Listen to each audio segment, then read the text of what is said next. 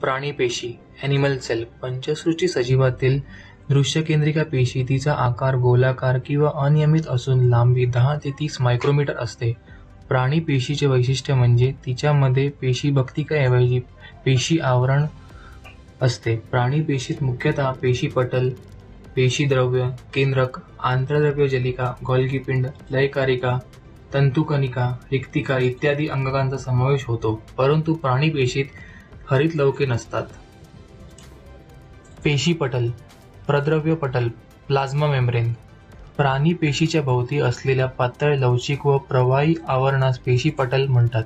पेशीपटल हे दोन थरांचे बनलेले असून हे थर फॉस्फोलिपिड मेदांचे बनलेले असतात आणि त्यामध्ये प्रथिनांचे रेणू असतात. पेशीपटलातून विशिष्ट आयने व विशिष्ट आकारांच्या रेणूंचे वहन होते.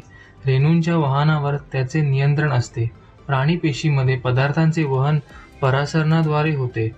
पाणी क्षार आणि ऑक्सिजनची पेशीमध्ये देवाणघेवाण करणे आणि पेशीबाह्य बदलांपासून पेशीचे रक्षण करण्यासाठी पेशीची समस्थिती राखणे हे पेशीपटलाचे कार्य आहे. केंद्रक न्यूक्लियस पेशीचे सर्वात महत्त्वाचे अंगक हे बहुधा पेशीच्या मध्यभागी असते. केंद्रकाचे केंद्रपटल केंद्रद्रव्य व केंद्रकी असे तीन भाग असतात. केंद्रकाभोवती केंद्रक पटलाचे दुहेरी आवरण असते. त्याचा बाह्य थर अंतर्द्रव्य जलिकेस जोडलेला असतो. केंद्रक पटल सच्छिद्र असते. त्याच्या छिद्रातून पाणी व प्रथिन यांचे पेशीद्रव्य आणि केंद्रक द्रव्य यात वाहन होते. केंद्रक द्रव्यातील गोलाकार भागास केंद्रकी म्हणतात. केंद्रकामधील सर्वात मोठा भाग केंद्रकीने व्यापलेला असतो. केंद्रकीमध्ये रायबोझोम मधील काही एचा भाग तयार होतो. प्रथिने तयार करणे आणि पेशी विभाजनात मदत करणे हे केंद्रकीचे महत्त्वाचे कार्य आहे. केंद्रकामध्ये सक्षम धाग्यासारखे गुणसूत्रांचे गुणसूत्रांचे पेशी विभाजनाच्या वेळी दुपटीकरण होऊन गुणसूत्रे विभाजित पेशींमध्ये समसमान वाटली जातात.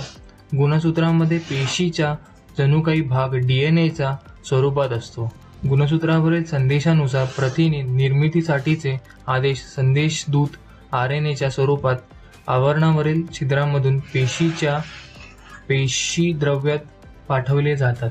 पेशी केंद्रक पेशीच्या सर्व क्रियांवर नियंत्रण ठेवते. पेशीद्रव्य सायटोप्लाझम पेशीच्या अंतर्भागात असलेला द्रव्यरूप भाग म्हणजे पेशीद्रव्य पेशीद्रव्याभोवती पेशीपटल असते. पेशीपटलामुळे पेशीद्रव्य अंतर्भागातच सीमित राहते.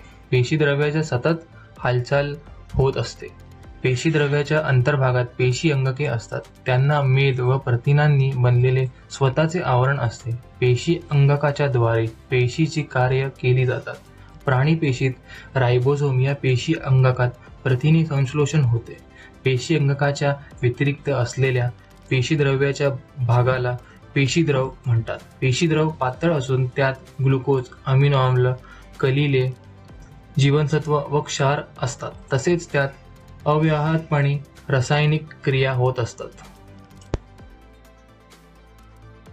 आंतरद्रव्य जलिका एन्डोप्लाझ्मिक रेटिक्युलम पेशीच्या आतमध्ये विविध पदार्थांचे वहन करणाऱ्या अंगकाला आंतरद्रव्य जलिका म्हणतात.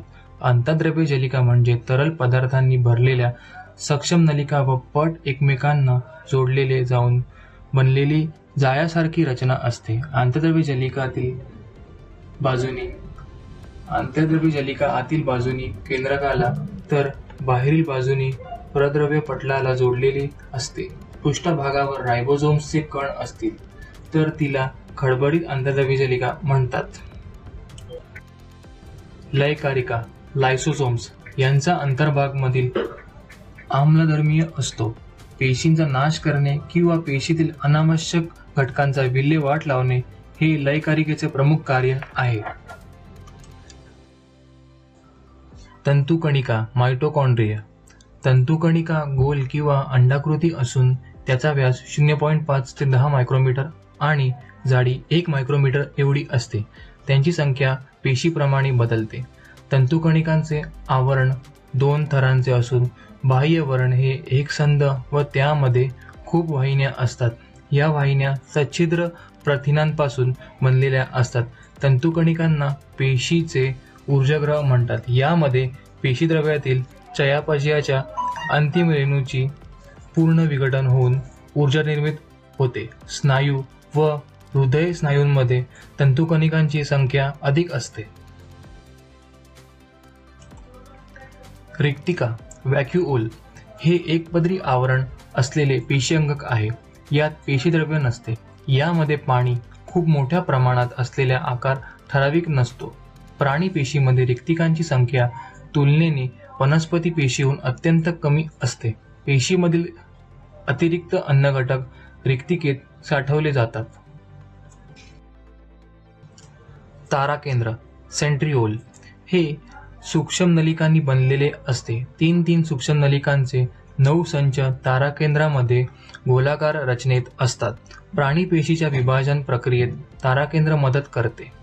पेशी विभाजनात गुणसूत्रे विलग होण्याच्या प्रक्रियेत ताराकेंद्र आधार देते. वनस्पती पेशीमध्ये ताराकेंद्र नसते.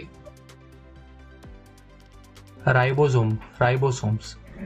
दृश्य केंद्रकी प्राणी पेशींमधील रायबोझोम आभासी केंद्रकी पेशींहून भिन्न व संख्येने अधिक असतात. रायबोझोम पेशीद्रवामध्ये विखुरलेले अथवा खडबडीत अंतर्दबे जलिकेवर असतात. पेशीच्या स्त्रावी काळात त्यांची संख्या वाढते. रायबोझोमचा प्रथिन संश्लेषणात महत्त्वाचा सहभाग असतो.